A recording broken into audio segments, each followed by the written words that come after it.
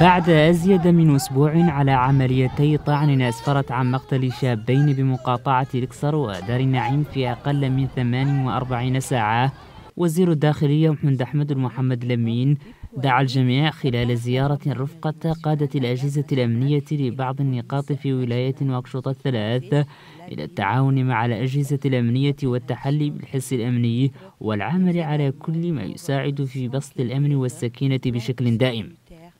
وكيل الجمهورية بولاية نواكشوط الغربية دافع عن الخطة الأمنية خلال شهر رمضان بل وأكد أن المواكبة القضائية لها نجحت وحققت هدفها بشكل جيد وذلك تأسيسا بحسبه على معطيات إحصائية تمثلت في تراجع معدلات الجريمة بالعموم خلال الشهر المبارك. عمليتا الطعن اللتان أثارتا الجدل بشأن الوضع الأمني تم القبض على منفذيهما بوقت وجيز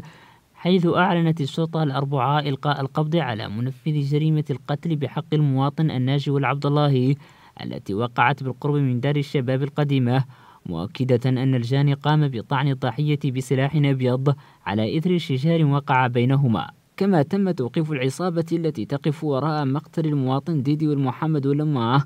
بحي دار السلامة بمقاطعة دار النعيم فبحسب رواية الشرطة فإن العصابة الإجرامية تتكون من ثلاثة عناصر بينهم قاصران وقد اعترفت بقيامها بطعن الضحية بسلاح أبيض وسلبه هاتفه. انتشار الجريمة التي تكدر صفو الأمن العام في نواكشوط والتي تؤدي أحيانا إلى القتل سجلت منها في ولاية نواكشوط الغربية بحسب إدارته الأمنية في شهر رمضان هذا العام. ست حالات مرجعة ذلك لاستقطاب الولاية لمئات الشباب خلال ليالي رمضان من جميع أنحاء نواكشوط بمناسبة تنظيم أنشطة ثقافية ورياضية مختلفة.